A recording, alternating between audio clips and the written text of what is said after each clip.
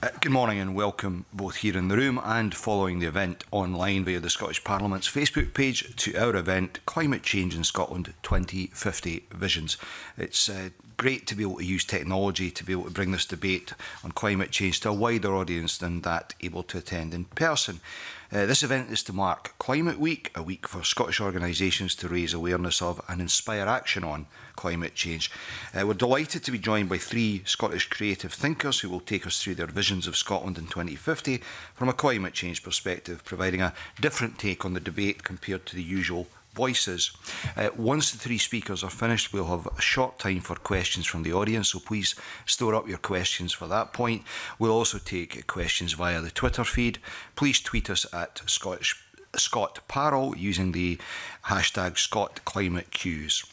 So let me introduce our panel. Firstly, uh, uh, Mandy Haggith, who lives in a coastal wooded croft in Assynt in the Northwest Highlands and works as a freelance writer and researcher. She's been awarded two Scottish Art Council Writers Bursaries and a Creative Scotland Artist Award and has won and been shortlisted for several poetry competitions. In the summer of 2013, she was the poet in residence in the Royal Botanic Gardens, and I hope she's going to bring together her creative work, writing skills, and her vision for 2050.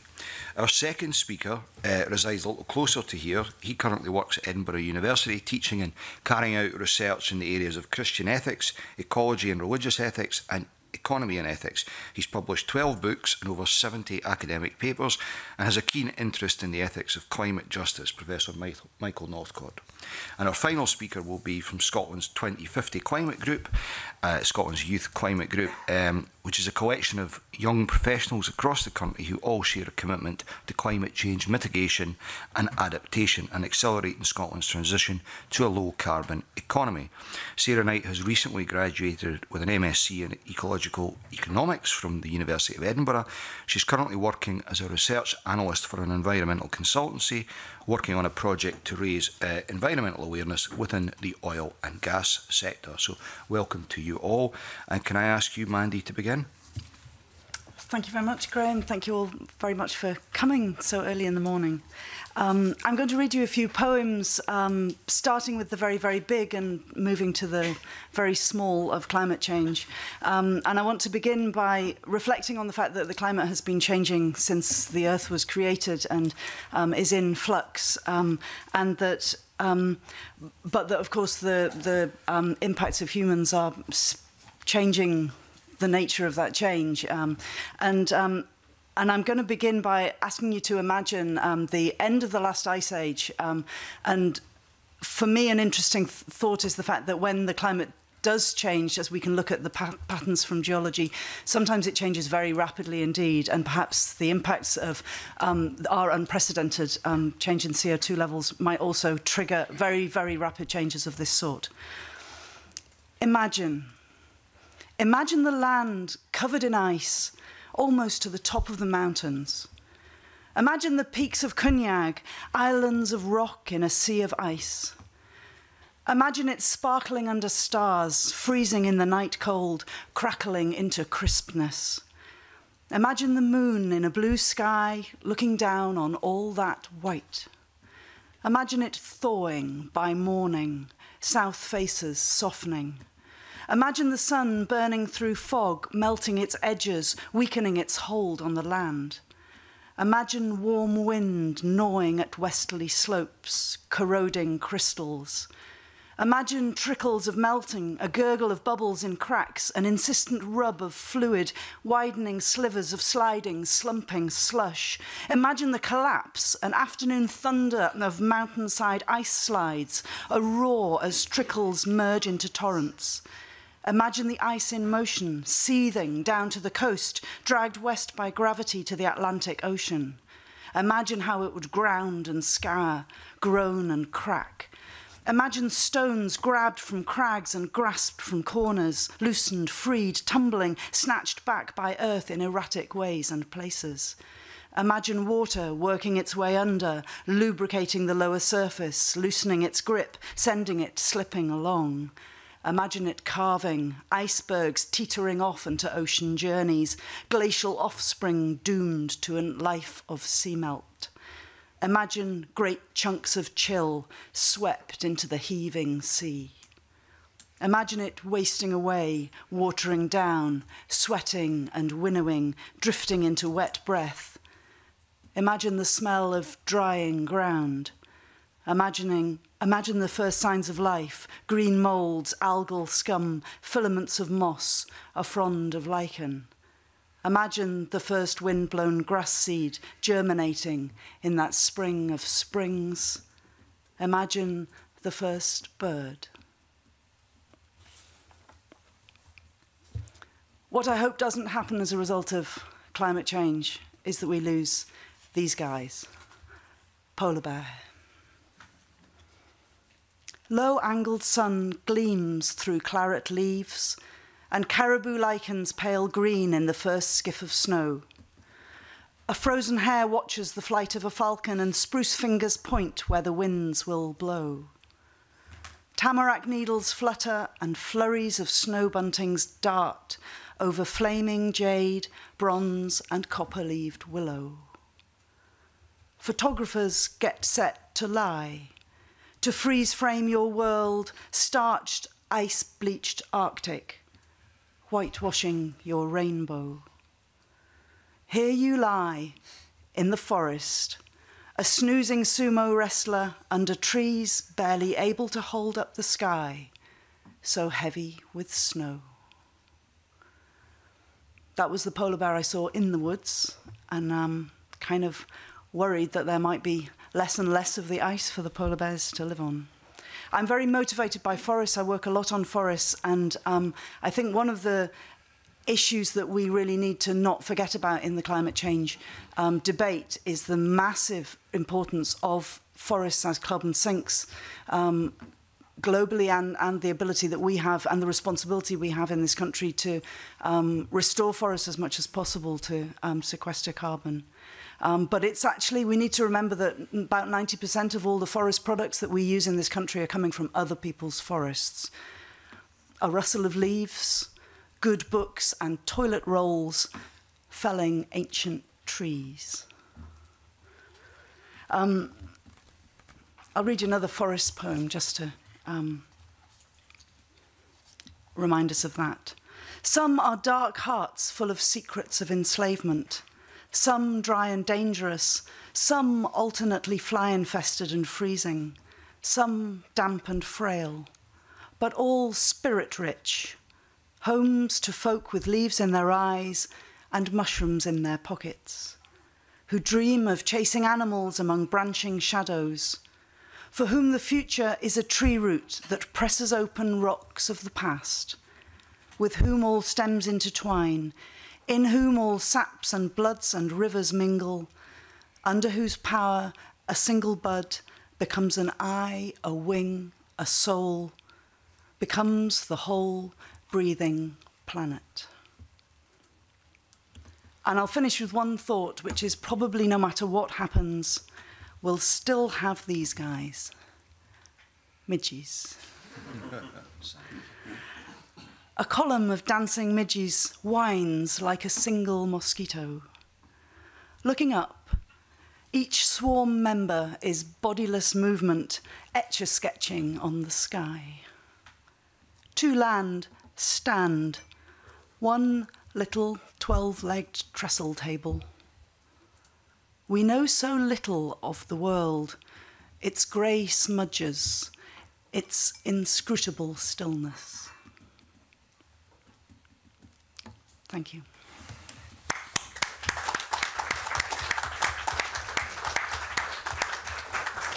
Thank you, Mandy. Uh, can I now invite Professor Michael Northcott to make a contribution? Thanks very much again. It's great to have so many people here this early in the morning on such an uh, inspiring topic.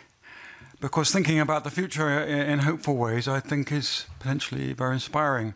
And I think one of the things we need in the climate change debate is visions of how doing the right thing by Mother Earth will also be um, good for us as a species and the species we share our country with. So, my first sense when I think about Scotland 2050 is, is a hopeful one. Um, Scotland committed itself to an 80% reduction in greenhouse gas emissions by 2050 in this Parliament, uh, in the 2010 Climate Change Act. we, we are on target to uh, deliver the uh, intended emissions reductions by 2020, not least because of Scotland's success in um, capturing wind uh, into the national grid. Um, I use on my little phone here an app from NOAA. Um, not um, Noah in the Bible. I'm professor of religion and ethics, but um, NOAA is the North American Organize, uh, Oceanic and Atmospheric Administration, and they have a particularly wonderful app which can show you uh, wind, rain, storms, hurricanes, whatever's coming at you. And if you look at it every day, it's quite evident that Scotland is one of the windiest places on Earth. And this particular capital is the windiest capital on Earth uh, of any nation. Um, so it's a huge resource for us. We have great potential as a nation uh, in renewable power. Um, and it's one of my great regrets that the English government under David Cameron made the really extraordinary decision to um, limit the capacity of Scotland to add further onshore wind power to the national grid and to the UK's uh, targets on greenhouse gas emissions. Because, of course, uh, wind is our most uh, uh, valuable and uh, economically um, viable form of indigenous power. There may be a bit of gas that we can frack from under the ground, though I'm opposed to fracking myself. But we're an incredibly crowded island 65 million people, most of them crammed into the space below um, the Tweed and um, the Solway Firth. And if we start fracking in areas where people live so intensely, the dangers of and risks to water pollution are extremely uh, significant. So, my feeling is that um, uh, wind is very much part of the future, and I, I, feel very hopeful whenever I see a wind turbine. And I was very, I'm very pleased to see. I'm starting to see letters in the Daily Telegraph and the Times from engineers and others saying the same sorts of things. Uh, David Cameron said in the British Parliament that um, oh, uh, people don't like wind. But uh, something like 70 80% of people are now saying when they see a wind turbine, they feel hopeful. Wind turbines are about doing the right thing by Mother Earth and by, by one another. Because wind is now the cheapest form of power from scratch, from commissioning to delivery in the United Kingdom, not the most expensive. Um, uh, if we consider also the climate effects of, of, of, burning other sorts of fuel. So I'm very hopeful that we will have a country which will be not 80% off of fossil fuels by 2050, but 100%. And uh, I, I, hope it will be contributing to the net global uh, greenhouse gas emission reductions by producing not 100% of our energy, but 120 or 150%, and exporting it down to uh, uh, possibly by that stage another nation. Um, I hope we'll all be in the European Union again by then as well, as uh, perhaps uh, separate uh, members. Um, so that's a little bit of my, my hope. Um, but alongside energy, we also need to look at land. Huge areas of Scotland are owned by a very small number of people. Uh, we've never had a revolution in this country, and so we've never had land reform, as almost all of our European neighbours have. I used to live in Southeast Asia, Japan, Korea, Taiwan, uh, Malaysia, all of these countries had land reform after the Second World War, and as a result, they became some of the most successful economies on earth because land reform redistributes the assets to the ordinary people and makes the wealth of the nation, we're sitting here in Adam Smith's room, makes the wealth of the nation available to the people. Alongside wind, land is a signal and underutilized asset of this nation of ours. And to address our climate responsibilities, one of the things we have to do is to get an active economy going again, which is sustainable, which creates jobs locally, doesn't rely on huge amounts of shipping and uh, by plane and so on, bringing, for example, 90% of timber products in from around the world. So, another of my hopes for the future is, is that we start to build buildings in this country, in Scotland, made of Scottish materials. Uh, for example, engineered wood grown on, in Scottish forests. That would, of course, mean that we would need to break up the big estates we would need mainly to end, and I would love to see it, um, the use of uh, large areas of upland for sport, eh, for, um, sport by very rich people. Um, and devote that land again to forests, as most upland is devoted in mainland Europe. I've just come back from Vermont. Uh, many Scots went to Vermont and uh, cut the trees down and put sheep on the land. They then went west, and the trees have grown back. There's now a huge uh, forest industry in Vermont, and it's a very important part of the economy of Vermont. So um, I'm also hopeful about the possibility that we will really genuinely reforest Scotland in the, in the next 40 years, but we need to do, but we will also need land reform, much more radical than we've had thus far in order to do that. Now, the third area I think that we really need to think about in terms of climate change is our diet. We know that more than a third of uh, greenhouse gas emissions comes from the food economy. We also know that Scotland imports a huge amount of food, and not only from south of the border, from other parts of the world. Um, I, I, travel perhaps more than is good for the climate, but I do um, I do uh, do a lot of research in other countries. And I was recently in South Korea. They've got all kinds of problems, as you know, right now in terms of security. But they are um, because of the situation they're in between Japan and China, and now Japan, China, and North Korea. They are incredibly resilient and uh, self-reliant people, and they grow all their own food. A lot of it is grown under tunnels. Now, in South Korea, the tunnels are to protect the food from the heat. As a grower myself here in Scotland, I have a, a, an acre of a vegetable uh, land garden in, um, in the middle of the Buccleuch estate over the, in Dumfriesshire. Uh, obviously, the issues here are protecting food from uh, cold, uh, rabbits, pigeons, and various other things that we gardeners have to face up to in the countryside. But it can be done. Uh, I, I, therefore also expect that uh, by 2050, when we, we will look at the environment around our cities uh, completely differently to how we do now. Rather more like Ebenezer Howard imagined the Garden City. And I would love to see the whole of the Central Belt covered in vegetables, and vegetable growing and vegetable gardens, uh, in cycle paths between the vegetable gardens and the city. So people at weekends, instead of feeling the need to fly to Prague or something, would get on their bicycles with their children safely, not encountering vehicles on the way, and go out into the gardens that, where the city is producing its own food and teach their children about caring for the earth. It's completely possible, that vision. It's not at all a pipe dream, but it could only happen if we, if we reform our land and tax system uh, and in particular bring back uh, land value tax into this country. We hugely underuse the greatest resource other than wind that I've just already spoken of in this country, in Scotland, and that is land. The Dutch have a great deal less land than we do in Scotland, and far less per person.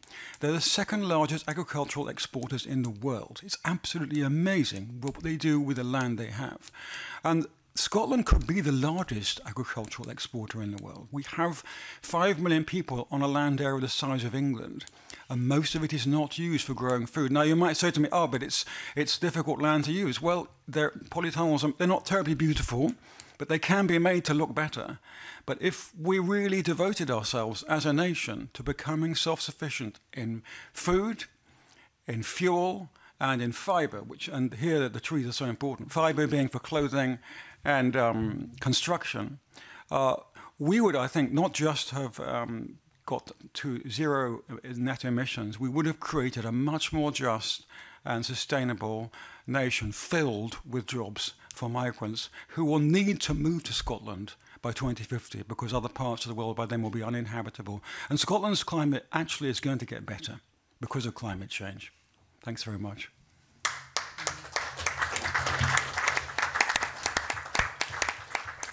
Thank you very much. Uh, uh, last but not least, uh, Sarah Knight. So, hello. Um, when I was preparing for this session, I was sitting in my favourite cafe in Stockbridge having coffee, and I thought about the title, The 25th Division. And I thought, it's really hard to imagine a day in my life in 2050. So that's 33 years' time, I'll be 59 years old, sprouting several grey hairs, and probably really worrying about the prospect of working for an extra 30 years because my pension's been ruined. And I was flicking through the news app on my phone, trying to think of ideas, and I thought, well, what might this day exactly as I'm doing look in 2050? Well, first of all, the, my coffee would be a luxury good, because coffee production is going to go down by 88% due to climate change by 2050. And then I thought about this uh, potential headlines that would be coming up on my phone. And I picked out certain headlines which are based on certain projections that are happening just now. So there's been another extreme case of flooding as headline one. This doesn't come as a shock to me, as this is quite a norm around the world just now. Areas which would have before had a 1% chance of having flooding every 100 years are now having extreme floods every 10 years or so. Headline 2 Fisheries lose another $10 billion this year. Again, this doesn't come as a shock as this has been happening every year. This is affecting livelihoods, especially in developing countries, and threatening food security. Headline 3 The global economy loses more than 3.5% of its GDP. Again, I'm not shocked by this. This has been happening every year for the last 20 years leading up to 2050. And with some countries losing as much as 11% of their GDP. And the last headline, which is one I'm really, really optimistic about, is that Scotland finally wins the Six Nations Rugby. so I'm sure I don't have to sit and tell everyone here the potential bad things that are going to be happening in the situation where we don't have any behavioural change and we work as business as usual. On a more civic level, which might affect Scotland quite badly, there might be a certain level of a fractured society with a lot of blame being put on those who are currently in power in 2050, which is going to be my generation. Although this seems like a very pessimistic vision, it is a potential vision that I have if we don't change the way we live just now. And it's action now that we at the 2050 Climate Group, who I'm talking on behalf of today, are working towards achieving. We are a youth run charity with the aim of engaging, educating, and empowering the future leaders in order to develop their skills and take action on climate change now. And one of the key ways we do this is through our Young Leaders Development Programme. So this falls in really well with the theme of today as it's trying to basically carve your way through into making your own 2050 visions become a reality. And through our program, we're trying to make a social movement. So through um, a series of modules and engagement events, we give our young leaders the skills and knowledge in order to lead their own movements. And this could be just personal changes to their habits or going to their local supermarket to ask for them to change a certain behaviour, approaching a policymaker to ask them to make more ambitious climate change policies, or in starting up your own business. And the list goes on, but it's essentially about giving them the confidence to do something they may have otherwise felt unable to do, thinking, oh, somebody further up in work will be able to do, or I'm too young to make a big difference. So eventually, our vision is that instead of ambitious climate change action being seen as a bit radical, it's going to be seen as a new norm. And this new normal means something different to everyone, but I see it as Scotland being a fair and very forward thinking and hopefully zero carbon country. And in order to get to these future visions, you have to talk more about the plans and the process of getting there. So if you look up the, the definition of a vision, it's not being able to you know, tell the future. It's more about being able to have the foresight in order to plan for making your own future. So a few weeks ago, before getting told about this talk, I was chatting to my dad, and he's born, he's quite old, he's born in 1937 Edinburgh during World War II. And I was asking him to describe just everyday habits of everyone.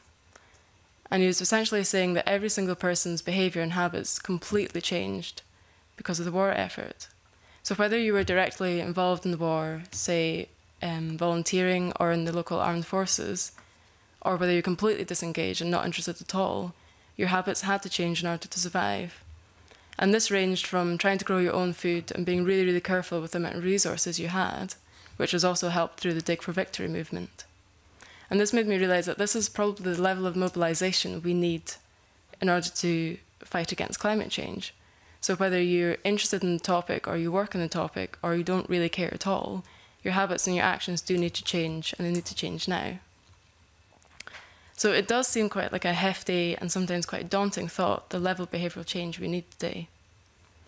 But it has happened, and it has happened quite recently, quite um, successfully in Scotland. And one example is the 5p plastic charge for plastic bags. This was very simple and very effective, with bag usage going down by 95%. And maybe this might suggest that Scottish people are a little bit stingy, but it also created a very rapid change in the way people saw a consequence of their actions. So whether or not you cared about the amount of plastic in the world, you were forced to change your habits.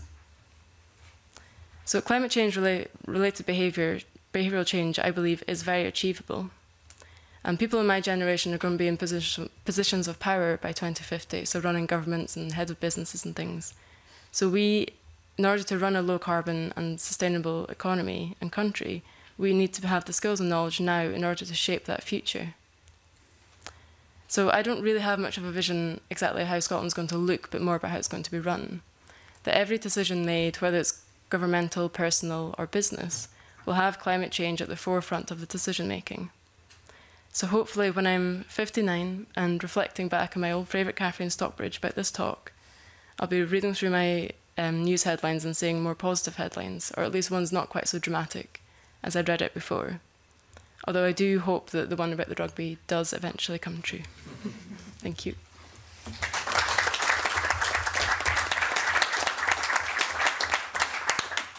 Uh, can I thank all of our speakers, um, as well as making thought provoking contributions? All of these were succinct. MSPs in the room, please note. uh, we now move to uh, questions. Um, the questions can be directed at all of the panelists or at individual uh, panelists as you wish. I'm going to take questions from the floor in a moment, uh, but we're going to start with one of the questions that's been received via Twitter. Victoria. Yep, so this uh, question has come in from Twitter from Thomas McEwen. What should young people's priorities be if they want to positively affect climate change in the future? Sarah, do you wish to kick off? um, I suppose just trying to get, I mean, it depends what they mean by priorities um, and this line of work, but I suppose trying to get as much opportunities potentially within this work to try and get on you know, to have more of a decision-based role. So that can be, you know, we encourage people to ask their employers to ask if they can be on the board, for example, or to be included in decision-making um, things. Um, in terms of priorities, I suppose being, well, you can get in touch with our charity and we can tell them all about it. Um, and just, you know, there's loads and loads of opportunities out there and it's very, I see it as like for youth to be engaged in stuff, it's very important to have a really like fun and quite a social kind of network as well with it.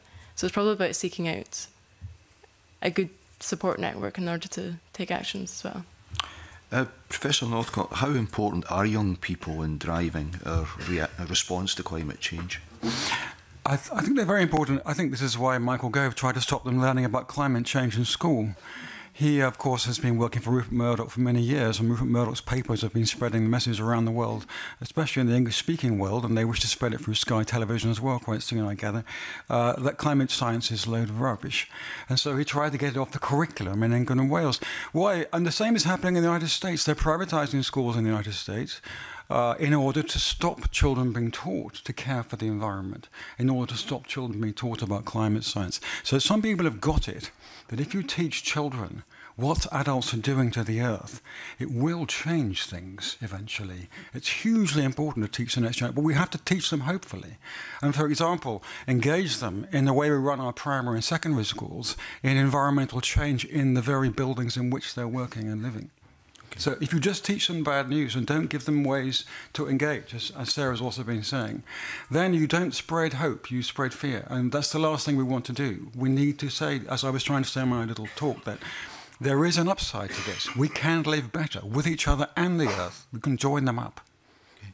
Mandy Haggis. Yeah, I completely agree with what Michael said, and I think that first priority, I think, is just keep talking about it. Um, talk, talk, talk, talk, talk. Discuss with everybody um, as much as possible. But yeah, absolutely. Um, love the earth. Find ways in which you can get that sense of pleasure from, from doing the right thing. So acknowledge all those little things that you do every day when you turn down the paper cup and feel good about it. Okay, thank you. Uh, we do have a roving mic, so if anyone at the back of the room wishes to ask a question, just indicate. But uh, can I invite the first question from the audience?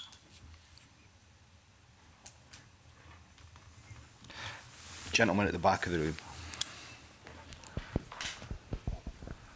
Uh, hello, uh, Mike Elm from Creative Carbon Scotland. I guess that it's kind of been acknowledged by this event, but how important do you think that creative thinkers are in terms of um, bringing climate change to the fore and inspiring people to take action for a sustainable future. Mandy. Um, yeah, I think I've, I've moved through my life from my, you know, I've got a PhD in artificial intelligence, and I used to think that there were technological answers to the to the problems that we face, and I reached a conclusion that although there may be technological aspects to the solutions that we need, we ultimately need um, to engage our our hearts and our souls as well as our minds in um, tackling these problems. And I think that it's it's only through um, having the full spectrum of, of society, including the creative end of the spectrum, engaged in these issues that we can really make progress. There's a wonderful book by a man called Amitav Ghosh called The Great Derangement Climate Change and the Unthinkable. And he is a novelist first and foremost, a brilliant novelist. But he wrote this book, uh, and it's a passionate, beautifully written book, uh, because he felt that it was very important for creative people to think about this problem and why we're not we're doing, as he feels, so little about it. Um, so I think uh, it's great when we have. And Ian McEwan wrote a, wrote a novel called Solar a few years ago. Um, I think it's terribly important that all aspects of the culture and that includes uh, religious thinkers as well, uh, are engaged on this issue because, of course, um, quite a lot of the difficulty with climate change and with accepting it is cultural. We've been trained to, for two, three hundred years, not least by Adam Smith, to think of the earth as a stable background for making money, for wealth, for jobs, for growth. And what climate science is teaching us is it's not a stable background. It's actually in the mix with us we are constantly interacting with this, with this planet. And what we do is changing the planet. But this is very counterintuitive because for hundreds of years, the culture has taught us something else. So we do need cultural change and new creative thinking across all disciplines, not only in the natural sciences and in economics and renewable energy, to, to think through the implications. And a lot of the resistance, I think, is in the realm of culture. People feel it can't be true because their story of their, most people's lives has been about progress. It's been about fossil fuels, it's been about energy, it's been about economic growth, and it's brought wonderful things to most people on this planet to this point in time. As people think, well, it can't be true that things are going to get worse. Surely they're just going to carry on getting better. We have to imagine, reimagine uh, the way we think about uh, the human project to really cope with climate change science. Okay. Sarah. Nothing much I can add to that. uh, John Scott, MSP, has a question for us. John. Uh, thank you, uh, Graham. Um, I'm interested in um, Professor Northcote's vision of central Scotland being covered in vegetable plots and cycle paths, and I have to declare an interest as a farmer. And given that central Scotland is 85% less favoured areas, which, as he will know, is a European designation regarding its ability to produce food, in other words, a less favoured area, uh, what does he see as the practical and cost efficient route to achieving this, as it assumes that the generation of farmers before, of which I am one, knew absolutely nothing? Well, as you well know, um, farmers have been promised um, European Union um, subsidies um, at the present level until just 2022, um, both here and in England. I was speaking at an event um, down in England with a number of farmers on Sunday, including the NFU representatives. And of course, farmers are all extremely concerned about what's going to happen in 2022. Um, now, from my perspective, um, I have to admit that I, I as a as a, I'm as an economics student, as a teenager, I thought that joining Europe was a mistake because of the common agricultural policy. So I was opposed to joining Europe. I'm certainly not opposed. I'm certainly opposed to leaving it. Now we've completely integrated our economy with Europe for the last 40 years, including our food economy. But the fact of the matter is that reacquiring, as we will do, either in London or Scotland, and I'm hopeful that it will be in Scotland the power to shape food growing and the landscape uh, more significantly in the future than we can at present, without the mediation of Brussels and the CAP, we will be able to direct subsidies far more effectively, it seems to me, to achieve both food self sufficiency, or as I like to talk about it, food sovereignty here in Scotland, and uh, reforesting of much more of our upland area, uh, and uh, conservation and preservation of um, sites of uh, very special interest, including aesthetic um, and landscape value. So I, I, I, see no real conflict there. Um, quite a lot of the land in Scotland right now, in terms of arable land, is devoted to animal feed and to raising animals.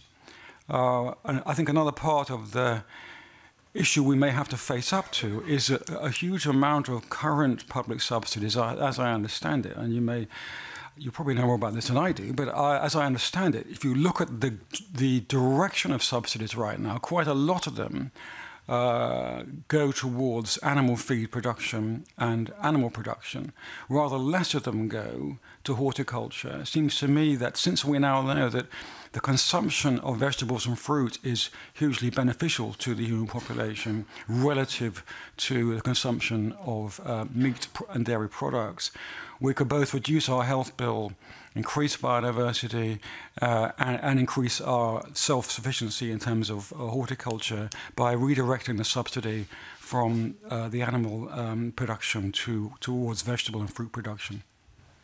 Okay. Okay. Uh, Emma Harper. Thank you.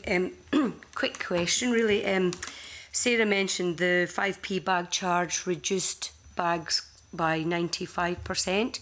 So what would you consider to be the next 5p bag charge equivalent that should be introduced? Is it deposit return?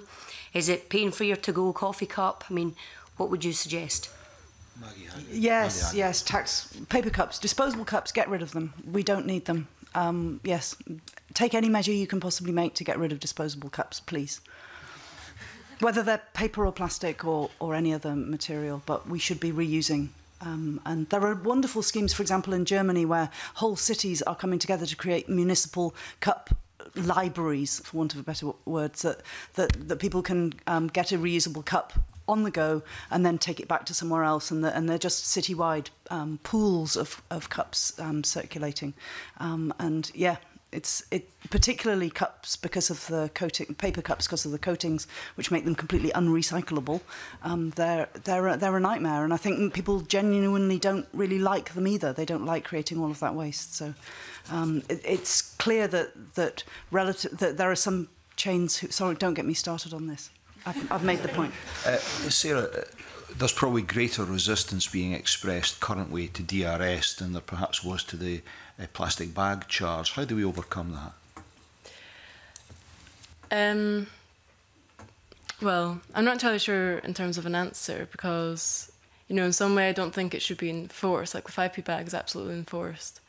And things like you're saying about the coffee cups, there are reusable coffee cups and it's become a habit. of People my age do use them all the time.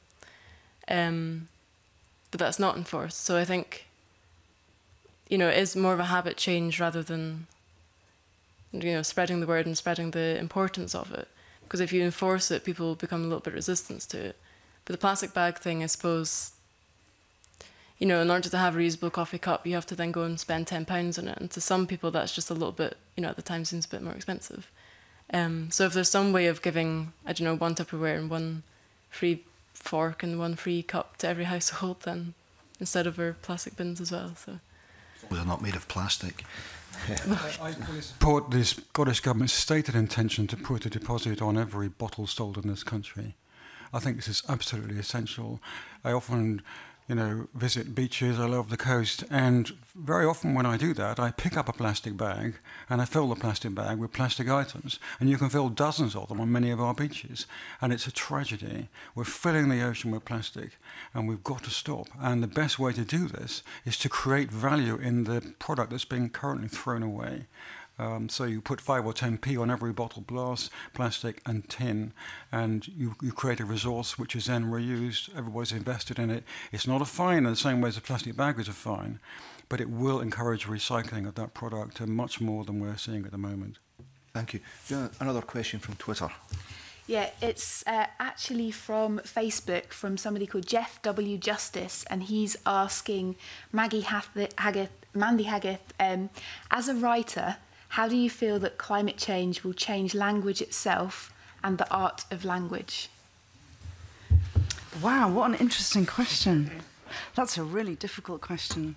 Um, well, at the moment, I, th I, think one of the things that is um, quite frightening about the whole climate change debate is the ugliness, ugliness of, of a lot of the language that that is used. And there's an awful lot of nasty um, long word jargon terms like mitigation and, and stuff, and uh, that are, are kind of off-putting. So I would hope that we'll we'll move through that to to a to a phase where we start inventing um, new and more fun kind of language to get at the um, the feel good side of, of making the kind of changes which are making the world better. Um, so, Yeah, that's that's one thing, and I guess we're going to need all sorts of um, new terms for um, the the kind of landscapes that used to be inhabited and become flooded and and so forth. So there, yeah.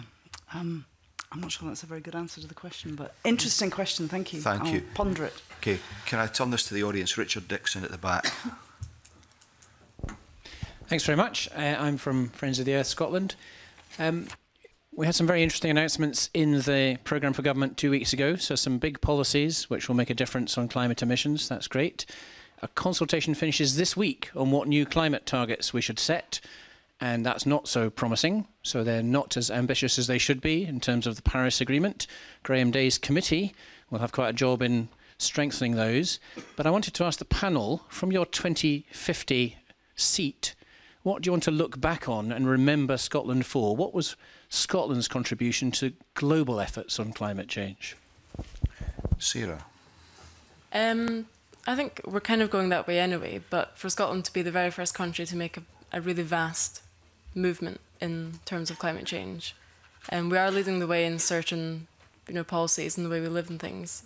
So then it's maybe to potentially be the first country to get a certain carbon reduction Um, as you were saying, the the new climate change bill isn't necessarily as ambitious as it should be, but that doesn't mean we're not necessarily going to achieve more ambitious targets. Um, so yeah, I see Scotland being like one of the first countries to do something fun and really forward thinking. the UK Climate Change Committee um, has indicated it would be happy with the target that the Scottish Government is setting. Um, what makes you say we need to go further? Is it realistic to go further, Professor? I think it is realistic, um, but the, the, trouble is that when you say the, the word realistic, it means um, money. Um, I mean, if you look at the, the principal areas where emissions uh, are, are, emanating from in, in the Scottish economy, uh, it's still um, the housing stock and offices um, mainly heating. We don't need so much cooling here. Um, it's uh, vehicular transportation, um, livestock. Um, so it does seem to me that we could have um, we, we, we could set ourselves um, a target of 100% zero emissions by 2050, and we might be one of the first nations thinking globally to achieve that. Um, but we're only going to do that with, I think, with more ambition uh, than perhaps we have shown thus far. But having said that, I do think that the 2010 Act was hugely ambitious. And it was achieved that target in part because so many people from across Scotland came to this Parliament and said they wanted a more ambitious act than was originally proposed. Uh, I think so. One of Scotland's contributions, I think, is to show that having uh, a devolved Parliament and evolving energy and climate policy makes possible a more ambitious target. It shows democracy works when we're talking about care for the earth. I think I so I I think it's realistic, um, but for me the great my my great concern about the way we, we approach this or have tended to approach this in, in the UK as a whole is that we we use energy pricing to discourage the use of energy uh, as a way of reducing emissions, alongside putting new kinds of energy into the grid and so on. Now, what this does, of course, is to punish the poorest, most of whom are, are living in houses that don't belong to them. And so, private landlords, for example, have very few duties to ensure those houses are well insulated, because currently we don't impose those sorts of duties significantly on private landlords. At least that's my understanding up, up to now. And so I think that um, we need urgently, I think, to address uh, the state of the nation's housing stock um, more rapidly than even we have been doing thus far. And that would link what I think is another part of Scotland's contribution to the global ethics of climate change, which is climate justice uh, and reducing emissions. Uh, if, if, if the way we go about um, pricing energy forces people in the poorest communities to make choices every day between heating their houses and going out and buying food, then we haven't got climate justice in Scotland. But Sarah uh, referenced earlier the, the possibility that asking people to purchase a reusable coffee cup might be problematic. If one accepts that, wouldn't there be far greater resistance if one of the measures required to achieve uh, the ambitions that Friends of the Earth are looking for around the emissions was that everyone had to replace their central heating boilers, for example? Well, it seems to me that most homeowners, um, given the right kind of um, access to finance uh, and having equity in their homes, won't find that difficult. So therefore, I don't think that is a huge problem. Low income people do not buy boilers. Uh, they have boilers bought for them, and they're normally extremely inefficient because they're heating inefficiently inefficient building stock. So I, I don't think that the boiler change issue is really a, a justice issue. I think it's I, I, I think the problem is how we regulate the housing stock and particularly the rental housing stock in Scotland. Okay, Mandy. Yeah, I'm, I really um, agree with a lot of what Michael said about um, climate justice. I think Scotland, we need to look back on a, on a Scotland which treated climate change not just as an environmental issue, but also a social and an economic issue. And um, in in the and you know become the first country that really demonstrates that um, climate friendly energy production is an economic boon to the to the country and and manage it in that way. And also that um, the the social justice issues not only within our own society but also globally um, are are taken into account. The the people who are um, adversely affected whether they're on low-lying islands or in the Sundarbans being flooded or whether they're up in the Arctic um, that that we at some level take responsibility for the historical um, impact of of our emissions over the past, um, well, since the Industrial Revolution.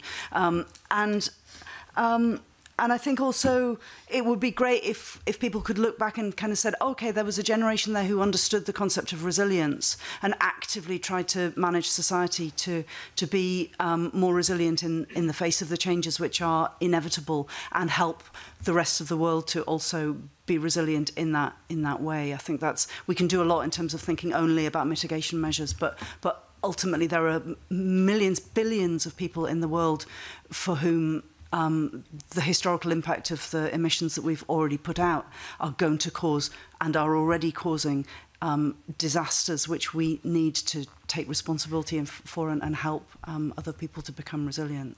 So. Okay, thank you. Victoria. Uh, yep, yeah, we've got another question from Twitter from Jerry McGee.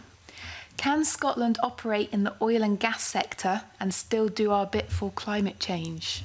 Good question. Sarah. Um, well, I'll be careful what I say because this is obviously going on Facebook. But um, so, from people that I've spoken to in the oil and gas industry, obviously they want to. It's a lot of people's jobs, a lot of people's livelihood.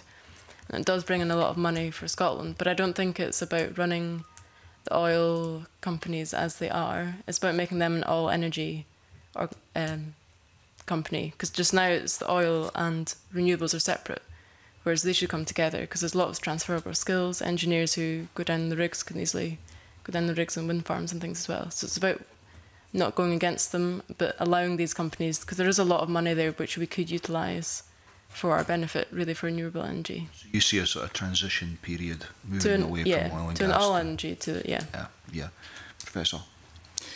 Well, I have to confess that um, my father worked for Shell for many years, and they paid my school fees. I always feel I need to own, that, own up to that in public. Um, on the when I'm talking about climate change, um, so I know a little bit from the inside about the oil and gas industry. Um, and of course, one, one thing I did, do remember very clearly from um, conversations around the family uh, dining table uh, about oil is the price of oil and the close relationship between the price of oil and the viability of any oil fields. Um, now, the marginal cost, so that's the cost of getting a barrel of oil out of the ground in Saudi Arabia, I'm told, is about $5. The marginal cost of getting a barrel of oil out of the North Sea, even uh, in terms of the um, the infrastructure needed to, to achieve that and the energy as well, the energy cost is over $50. So currently, as we all know, there isn't a huge case for um, new exploration uh, in the North Sea. Uh, and that is a, a, a, sad thing for the northeast of, of, Scotland because the economy of the northeast of Scotland is hugely dependent on our industry. But the northeast of Scotland is changing and will continue to change. Uh, I, I don't, you know, and the other issue, it seems to me, is that there is a problem with economies which become over dependent on one resource, one primary commodity. And there is an argument that Scotland's economy has up to now been rather skewed by being quite dependent upon oil and gas. It was very notable um, that the uh, famous white paper. Uh, it, which made the case for um, independence before the Scottish referendum, a huge part of the case was based upon uh, the oil and gas industry and that resource.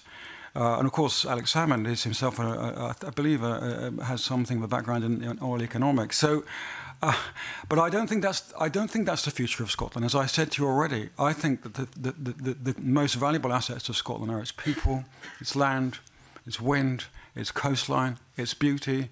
Um, uh, it's it's an, an, it, the brilliant ideas and creativity of this nation and its democracy. And its commitment to social justice. And I actually don't think oil and gas is the future of Scotland. I think it's the past. Now, I, that's a controversial view, but that is my view. If we just take the easy oil that's left on the planet, and much of that is in Saudi Arabia, and there's quite a lot still in Iraq. If we just take out the easy oil, we're still looking at two, three degrees of climate change. So why would we want to go after the difficult, difficult oil? And Saudi Arabia is pumping fast because it knows in the future the oil price will be devalued by the whole issue of the unburnability of oil, which, of course, Mark Carney here in the United Kingdom has already highlighted as a problem for the UK stock exchange. So I'm afraid I think that the oil and gas industry will continue to decline, particularly if the Saudis keep pumping as they are, which then they there's no sign of changing that. Mandy? No. Okay, short, short. Keep it in the ground. okay, thank Quit your that. job and go and work on renewables. okay, Victoria, any other questions from? Uh, yes, so from Alan Clark, uh, food buying needs to change. No, no more strawberries from Argentina in December. Why is this encouraged rather than discouraged? Mandy, do you want to go first? Yes, and I'm looking very guiltily at the piece of watermelon on my plate. very good point, I agree.